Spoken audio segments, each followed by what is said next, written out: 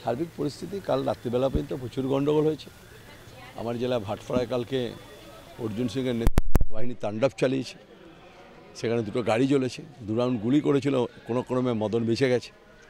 বেরিয়েছে মদন মিত্র, চলে যেতে হয়েছে। সকালবেলা থেকে মদন কমপ্লেন করতে শুরু করেছে। এগারো নম্বরের তিয়াত্তর, চুয়াত্তর, পঁচাত্তর বুথে ব্যাপক ছেলে ঢুকে আছে। যেখানে পোলিং এজেন্ট বসবে, সেখানে কুড়ি জন করে ছেলে বসে আছে।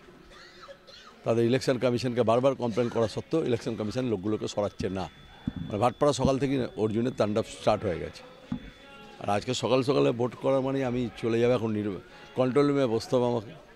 তিনটে নির্বাচনে জেলায় চলছে, তিনটে নির্বাচনে কন্ট্রোল রুমে আমি থাকব। সন্ধ্যাবেলা ছটা, সাড়ে ছটা, সাতটা, যতক্ষণ ভোট চলবে ততক্ষণ আমি থাকব। স্বাভাবিক এই জন্যই আর তাড়াতাড়ি ভোটটা দেওয়া। আর কিছু ব্যাপার নয়। আর নির্বাচনের নামে য- নির্বাচন কমিশন যা করল ভারতবর্ষের ইতিহাসে, স্বাধীনতার পর থেকে এত কলঙ্কময় অধ্যায় আর তৈরি হয়নি। নির্বাচন কমিশনের তিনজনের মধ্যে প্রতিদ্বন্দ্বী শুরু হয়ে গেছে। একটা নির্বাচন কমিশনার তো সরেই গেছে, সে আর কোনো ইলেকশন মিটিংয়ে অ্যাটেন্ড করছে না। চিফ নির্বাচন কমিশনার কোনো মিটিংয়ে অ্যাটেন্ড করছে না। আর চিফ নির্বাচন কমিশনারকে যত চিঠি দিয়েছি আমরা জেলা থেকে, একশো চিঠি পাঠিয়েছি অন্তত কমপ্লেন করে পাঠিয়েছি। একটা চিঠির উত্তর দেয়নি সিঙ্গেল চিঠির উত্তর দেয়নি। মানে এত পক্ষপাতিত্বমূলক আচরণ মানে নির্বাচন কমিশনের সদনটা, দিল্লির সদনটা, ভারতীয় জনতা পার্টির সেকেন্ড অফিস সেকেন্ড অফিস তৈরি হয়েছে। কেন্দ্রবাহিনী ভূমিকা কী? কেন্দ্রবাহিনী দেখছ তো, এবার দাঁড়িয়ে আছে।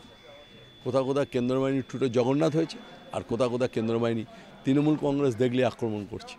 তৃণমূল কংগ্রেসকে গুঁতো মারছে, তৃণমূল কংগ্রেসের লোককে ধরছে। এই ব্যাপার, আর কিচ্ছু ব্যাপার নেই। কেন্দ্রীয় বাহিনীও ঠিক নয় কেন্দ্র বাহিনীতে পরিচালনা হয়েছে নির্বাচন কমিশনের দ্বারা পরিচালিত হয়েছে।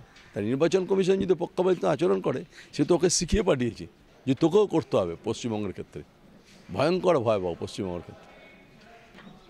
অবশ্যই, প্রতিরোধ সব জায়গাতেই হবে। যদি মনে করে দেয় তৃণমূল কংগ্রেসকে ভোট, লোককে ভোট দিতে দেবো না, তৃণমূল কংগ্রেস কর্মীকে মারবো, তৃণমূল কংগ্রেসকে আক্রমণ করব তাই তৃণমূল কংগ্রেস কিন্তু কোথাও যা আমরা যা কোথাও চুরি পড়ে বসে নিই। গণ্ডগোলের পাল্টা হবে আজকে। আজকের দিনটা আমি, গতকাল পর্যন্ত আমি আরম্ভ করেছিলাম। গতকাল একতরফা মেরেছে। একতরফা গণ্ড যত হয়েছে। সুভাষ বোস, এই কাউন্সিলর বিধাননগর, তাকে ডিটেনশন করে দিয়েছে এয়ারপোর্ট থানা। এই পুলিশের এয়ার এই যে, বিধাননগরের যে কমিশনার এসছে, সে নিজেকে সায়েন্স ভেবে নিয়েছে পুলিশ কমিশনার সে যা খুশি তাই মনে করছে। যে আমি যা মনে করব তাই, তা নয়। চব্বিশ পঁচিশ তারিখের পরে দিনটা আমাদের দিন। ওকে ভেবে নেওয়া দরকার আছে।